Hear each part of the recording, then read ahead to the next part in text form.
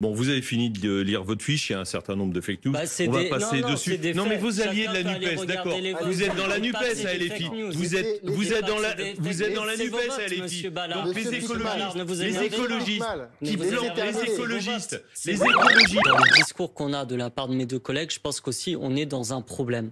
C'est-à-dire qu'il y a un double discours et il y a une perte de sens. On peut euh, avoir euh, des positions politiques, des idées, nous on en a, elles sont cohérentes par rapport à l'agriculture en France.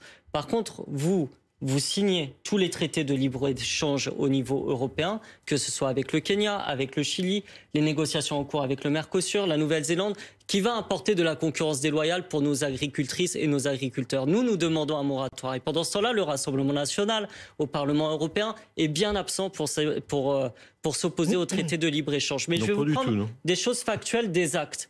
Le Rassemblement national, le 26 juillet 2022, vous avez voté contre l'indemnisation des agriculteurs en cas de catastrophe naturelle. Le 30 novembre, vous avez voté contre le moratoire sur le déploiement des méga-bassines alors que beaucoup nuisent aux agriculteurs. Le 9 octobre 2023, les méga-bassines, vous avez, faire je finis, je vous ai écouté avec euh, patience, contre la protection de la rémunération des agriculteurs face aux industriels et à la grande distribution. Le 6 avril 2023, contre un rapport sur la sécurité sociale alimentaire Bon. qui protégerait les revenus des agriculteurs. Et en pleine crise inflationniste et crise des agriculteurs, vous avez voté avec la Macronie l'augmentation de 300 euros des frais de mandat des députés, Bon, alors que cela est Vous indécent pour la plupart d'entre eux. Nous sommes pour cible. Oui, la oui, France non, mais j'ai- j'ai bien compris. Elle a- Alors, s'est opposée est-ce à que cette c'est vrai, mesure. d'ailleurs Non, c'est pas vrai, c'est vrai. C'est Vous êtes de ce qui a été déconnecté des décidé, réalités de ce qui a été décidé.